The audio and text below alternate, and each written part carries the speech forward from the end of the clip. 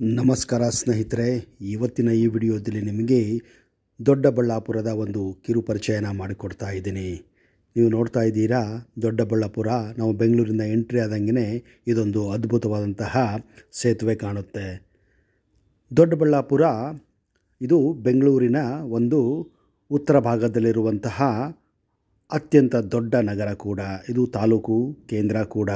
ಇಲ್ಲಿಂದ ನೀವು ಆಂಧ್ರ ಪ್ರದೇಶಕ್ಕೆ ಹೋಗಬಹುದು. ಅಂದರೆ ಅನಂತಪುರ, ಹಿಂದೂಪುರ, ಜೊತೆಗೆ ಕರ್ನಾಟಕದ ಚಿಕ್ಕಬಳ್ಳಾಪುರಕ್ಕೂ ಕೂಡ ನೀವು ಇಲ್ಲಿಂದ ಹೋಗಬಹುದು. ದೊಡ್ಡಬಳ್ಳಾಪುರ ಹೆಚ್ಚಾಗಿ ಇಂಡಸ್ಟ್ರಿಗಳನ್ನು ಹೊಂದಿದೆ. ಹಲ ಹಲವಾರು ಕಾರ್ಖಾನೆಗಳು ಇಲ್ಲಿ ನೀವು ಕಾಣಬಹುದು. ಮಲ್ಟಿನ್ಯಾಷನಲ್ ಕಂಪ್ನಿಗಳನ್ನು ಕೂಡ ನೀವು ಕಾಣಬಹುದು. ನೀವು ನೋಡ್ತಾ ಇದ್ದೀರಾ, ಮೊದಲು ದೊಡ್ಡಬಳ್ಳಾಪುರ ಇಷ್ಟೊಂದು ರಿಚ್ ಆಗಿರಲಿಲ್ಲ, ಇಷ್ಟೊಂದು ಜನಭರಿತ ಕೂಡ ಆಗಿರಲಿಲ್ಲ. ಮೊದಲು ಒಂದು ಹಳ್ಳಿಯ ಥರ ಇದ್ದಂತಹ ಈ ದೊಡ್ಡಬಳ್ಳಾಪುರ ಈಗ ನೋಡು ನೋಡುತ್ತಾನೆ ಸಿಟಿ ಥರ ಆಗಿಬಿಟ್ಟಿದೆ.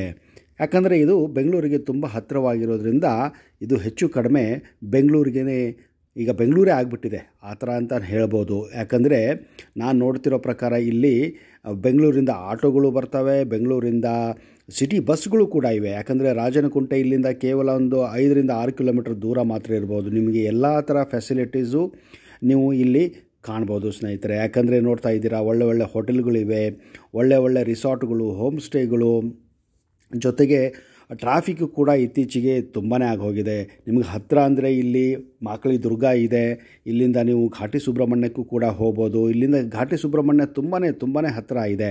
ಇಲ್ಲಿಂದ ಮುಂದೆ ಹೋಗಿ ನೀವು ರೈಟ್ ಹೋಗಿಬಿಟ್ರೆ ನಿಮಗೆ ಘಾಟಿ ಸುಬ್ರಹ್ಮಣ್ಯ ಸಿಗುತ್ತೆ. ಘಾಟಿ ಸುಬ್ರಹ್ಮಣ್ಯ ಇಲ್ಲಿಂದ ಒಂದು ಐದರಿಂದ ಆರು ಕಿಲೋಮೀಟ್ರ್ ಇರ್ಬೋದು ಅಂದ್ಕೊಂಡಿದ್ದೀನಿ ಯಾಕಂದರೆ ನಾನು ಇವತ್ತು ಘಾಟಿ ಸುಬ್ರಹ್ಮಣ್ಯಕ್ಕೆ ಹೋಗ್ತಾ ಇಲ್ಲ. ಇವತ್ತು ನಾನು ಹೋಗ್ತಾ ಇರೋದು ಮಾಕಳಿ ದುರ್ಗಕ್ಕೆ.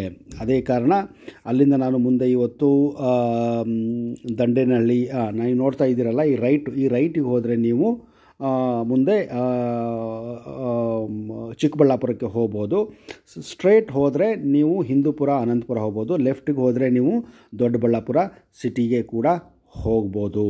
ಸೊ, ಈ ಮುಂದೆ ಇಲ್ಲಿಂದ ಇನ್ನೊಂದು ಒಂದು ಕಿಲೋಮೀಟ್ರ್ ದೂರ ಹೋದರೆ, ಒಂದೂವರೆ ಕಿಲೋಮೀಟ್ರ್ ದೂರ ಹೋದರೆ ನೀವು ಘಾಟಿ ಸುಬ್ರಹ್ಮಣ್ಯಕ್ಕೆ ಹೋಗುವಂಥ ರಸ್ತೆ ಸಿಗುತ್ತೆ. ಇತ್ತೀಚೆಗೆ ನಾನು ತುಂಬಾ ಟೈಮ್ ನಾನು ಈ ದೊಡ್ಡಬಳ್ಳಾಪುರಕ್ಕೆ ಬಂದಿದ್ದೀನಿ.